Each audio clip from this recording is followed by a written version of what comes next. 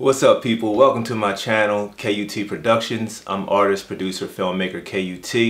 And this is a place, this channel here, I'll have uh, my art and um, different types of things that I'm working on as far as like creative stuff. Um, but today I just wanted to talk to you about these two books I got. I got them back in like 2016 at the um, Andy Warhol's show when he came to Phoenix. Um, this first book, I think it's like it's by Prestel Publishing. It's just Andy Warhol, that's the title of it. It documents all his works in there. It's pretty tight. It's a good book. It's pretty nice. So if you can find this book, if you're an Andy Warhol fan, that's a good one. Um, got, like I said, it's all in there. So that's a good book. And this other Warhol book I got by Phaidon Publishing. It's another one, nice hardback. Got a nice like plastic cover on it. It's a cool book. Another one has all his um, all his stories. It's like pretty much his life. And they also, I'm like way off. And they show like um, all his works in here also. Also telling his life story though. And a lot of stuff he went through. Here's some more of his work. The big silk screens.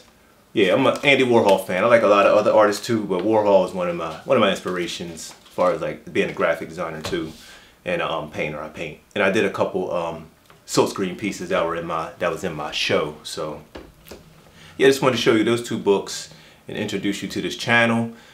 Stop back by anytime, like, share, subscribe, and hit the bell. I'm gonna be dropping, I'm gonna start showing you more of my art, um, get some of those on here. We're just gonna talk about art here, art, music, films. Since I make films, I do some music. So stop by anytime, thanks for stopping by, and peace. So right here, I did these 357s. This is silk screened. Um, I did them in like a Warhol style. I didn't silk screen those colors. I actually went back and I painted with acrylic. But the black is where I um, used the silk screen. These were in my show. These pieces didn't sell, but this is a very good one. I sell prints of this. I shot the photo of the uh, 357 Magnum and went on to make the screen and produced this nice piece. I even painted the edges, like that side's yellow, and I did that side red, that side's blue. And I believe the top is green, it's hanging way up high. But So yeah, that's what I did. That's the um, my 357s right there. And this is from my art show. This is the poster, Stolen Art Show documentary coming soon. That was just the show poster. Stolen Art Show. See it?